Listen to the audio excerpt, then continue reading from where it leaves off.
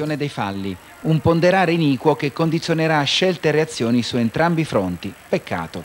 Ma ineccepibile è il verdetto.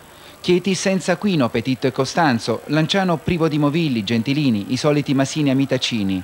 Un 4-4-2 teatino riconfermato con Terrevoli dal primo minuto, Fronte Puccica, un 4-3-3 dinamico, elastico, avvio. I Chieti graffia, smania, si vede che ha voglia di vincere, dando seguito al filotto florimbiano. Così Quagliarella, che risulterà il migliore, uscirà tra applausi scroscianti, sferra due siluri.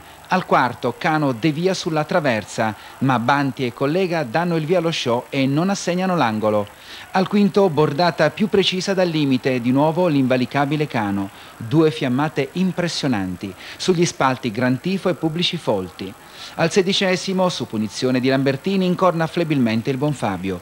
Poi il fuoco si attenua e Lanciano trova equilibrio. Mette talora in imbarazzo il Chieti sulla fascia sinistra. Mengoni becca il primo giallo. Gli effetti della crescita frentana si avvertono assai gradualmente. Al trentottesimo un'incursione maligna e ribattuta da Zattarin. Al quarantesimo Nassi non ce la fa a correggere un ponte dipinto. Al quarantaduesimo la grande occasione. Maggiolini pennella, Ferreira Pinto trova Bassò lesto di piede.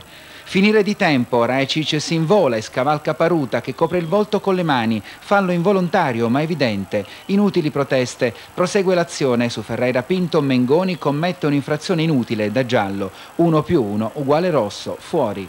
Finimondo nero-verde e ha ragione, perché un minuto prima Paris aveva rischiato il peggio, guardate, per questa entrata violenta proprio su Mengoni, nemmeno il giallo, difficile da mandar giù.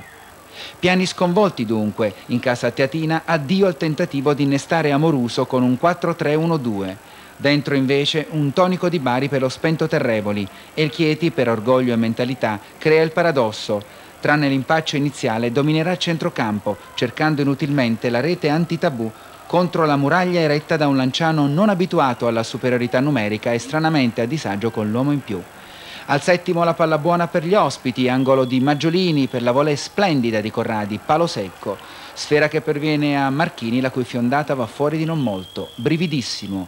Il Chieti è morso da uno stuolo di tarantole, così reagisce con veemenza e costruisce col cuore. Dalla distanza tentano Medda prima e Cherubini dopo. Cano attento. Al ventunesimo Quagliarella Vispo Vispo alza di tre mani oltre la traversa. Al ventiduesimo ancora Quagliarella incute timore a Paris. Dal fronte sinistro Lambertini punta dritto senza far male. Ventisettesimo Riecco, velenoso il Lanciano, la girata di Nassi non ha fortuna, come al ventottesimo la diagonale di Califano che sfrutta un duetto d'amore con Quagliarella. Al trentunesimo fraseggio Caruccio dei Neroverdi, la rasoiata di Lambertini inefficace.